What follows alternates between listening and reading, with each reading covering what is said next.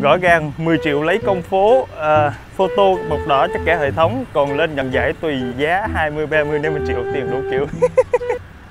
Con bé này cái gì nó cũng biết nha. Ờ, khoảng trước Tết 2 tháng các bạn thì có một cái anh kia anh gọi điện cho mình anh giới thiệu ảnh là bên ờ, đài truyền hình. Nói chung là cũng khá là nổi tiếng các bạn. Mà mình không có tiện nhắc tên nhắc nói chuyện si mẹ bên nữa. Anh nói là anh biết mình ờ, đang kinh doanh những sản phẩm tăng cân và anh, anh kiểu như là anh tìm hiểu mình mà nửa mùa các bạn. Anh cứ nghĩ rằng mình đang bán thuốc nhưng mà không phải. Thì anh nói là cuối năm nay thì bên đài truyền hình ảnh tổ chức ờ, cái buổi gala trao thưởng ờ, cho những cái doanh nghiệp đó.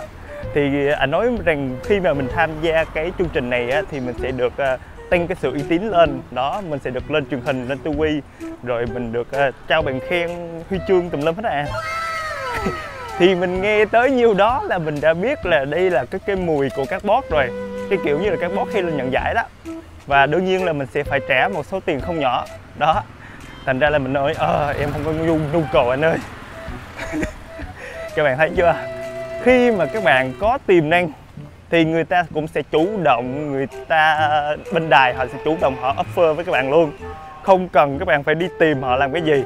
Đó nên là đừng thấy là các boss lên truyền hình nhận giải rồi này kia là nghĩ rằng họ uy tín. Không có các bạn mua giải hết á chứ không có đâu. Ai đời đâu mà lên truyền hình nhận giải mà nhận cả công ty. À, không? Các bạn thấy không? Những boss đó họ lên không phải là chỉ mình một mình họ đại diện công ty đâu. Mà lên nhận thì có boss lớn boss nhỏ rồi tùm lum tới khi mà mấy chục người lên nhận giải luôn các bạn.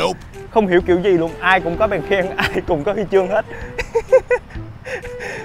đừng có lùa gà nhau, ok? Minh Trí, đồng hành cùng tiền cân an lành